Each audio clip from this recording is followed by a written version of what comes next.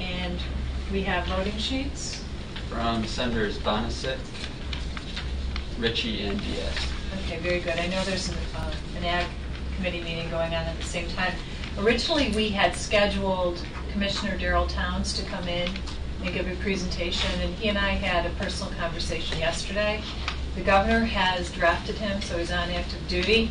He's traveling around the state uh, to support the governor's agenda, and so he has promised that he would come in and address the committee at some time in the near future, but he just can't make it today. He's booked solid. Um, The first item on the agenda would be the nomination of Stephen Weiss to the New York State Housing Finance Agency Board. Um, I had an extensive conversation with Mr. Weiss on the telephone yesterday. He has a strong background in affordable housing and community development preservation. Um, I have gotten recommendations from entities from across the state. So he's uh, very well regarded, and uh, so I don't know if anybody else would like to speak in his favor. And just to let you know, because he's from Buffalo, uh, what we decided to do was that he's not coming to the Housing Committee meeting, but he'll appear before the Finance Committee, uh, so that he doesn't have to come twice. But I'm sure, too, if you have any questions for him, he would be able to take your phone calls.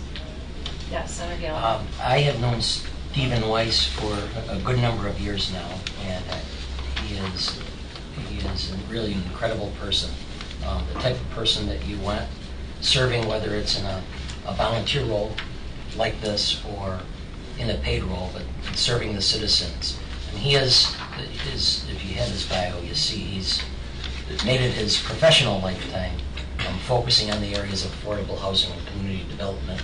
And I worked with him on a number of different volunteer and not-for-profit things back in Western New York. And I know that he has been active in this area throughout the state. He's testified before Congress. He has testified before the Assembly, and he served on the governor's, the governor's uh, transition committee. And it seems we can't get away from it. He's a graduate, a graduate of UB. Both, both his undergraduate. Probably uh, seven, where was it, 80 87. Um, Both his, both his undergraduate and, and School of Law. So this is a nomination that I I certainly support, and I'll be voting in the affirmative. Thank you, Senator. I, I support the nomination as well, um, not only because he's from Buffalo, but because of the simple fact is that, as you can see from his, from his resume, he does have the, uh, uh, the fortitude, he's a person you can get along with, um, not argumentative at all, and he, and he's somebody that, in this type of position, would be perfect to, uh, uh, to help in, in uh, any capacity, and uh, I think it's a great uh, nomination. Great, thank you, Senator. Yes. I I will defer to my colleagues from that part of the state, but I have read the resume and I'm also very impressed with his credentials. Thank you, Senator. I agree. Thank you. So do I have a motion to move the nomination? Um, Motion move it. Second. Second. Okay. Um, Motion is moved by Senator Gallivan, seconded by Senator Grisanti. All in favor, signify by saying aye. Aye. Opposed? The nomination is carried. Now we'll move on to the bills. Senate 4035 by Senator Golden amends Section 282 of the multiple dwelling law to provide that a loft owner who is applying for protection under the provisions of the expanded loft law enacted last year shall be provided a cause of action in civil court against any landlord who interrupts or discontinues essential services to their dwelling during the time the application for coverage is pending. Right, this is uh, something that's very important to Senator Golden and Sen- and Assemblyman Lopez, and I got a, uh, some good talks with them. Apparently, this is an issue uh, that is increasing, and uh, I've heard some horror stories of people being harassed. So this would be an important tenant protection bill that we're passing today. Does anybody want to discuss it? Anybody? Okay, somebody want to move it? Motion rule. Second. Um, well, Senator Ms. Fayad moves the bill, Senator Gallivan seconds. All those in favor? Aye. Opposed? The bill is reported, and it's going to which committee? Uh, That is going to the floor. It's going straight to the floor.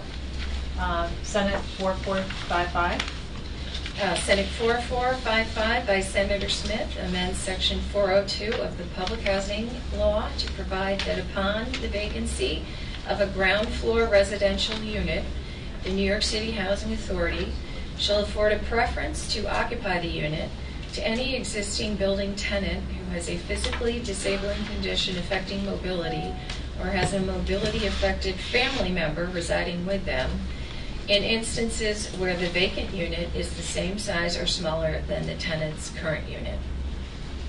This is an access issue for people with disabilities. Is there any discussion? I know that this is a very important bill. There have been, there's one example given in the memo. Um,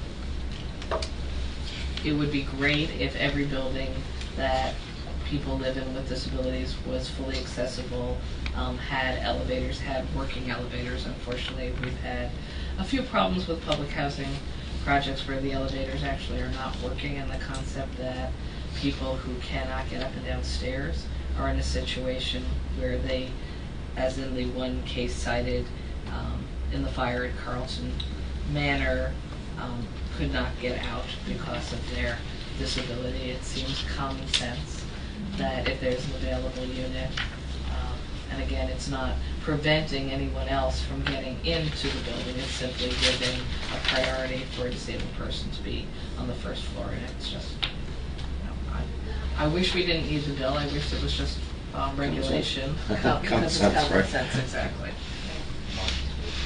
Senator Espaillat moves the bill. Is there a second? Second. Senator Gallivan seconds. All those in favor? Aye. Opposed? The bill is reported, and it's going to the... To the floor. That's right. Next, we have Senate 4845.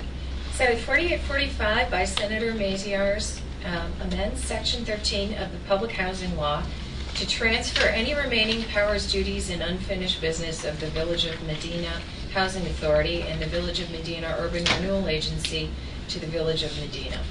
Okay, just one correction, Medina. right? Medina. Terribly sorry. West Miami are Isn't there a song funky called Medina? Um, As you know, there's an increased emphasis on reducing the size of government. This is um, an authority that has not been active for many years, so it just makes sense to dissolve it. And so Senator Maziarz is showing leadership in that arena. Is there any discussion? I'm sorry. So there are no actual apartments under the authorization of this No. housing No, authority? it's been defunct for decades. Right, so it's just kind of on the books. and Okay. It just makes sense to get rid of it. We have too many authorities in New York State. Motion the bill. Senator Espaillat moves the bill. Is there a second? Senator Second. Senator Gallivan seconds. Those in favor signify by saying aye. Aye. Opposed, nay. The bill is reported, and where's it going? To the floor. It's going straight to the floor. That concludes the business of the Housing Committee. I want to thank everyone for coming.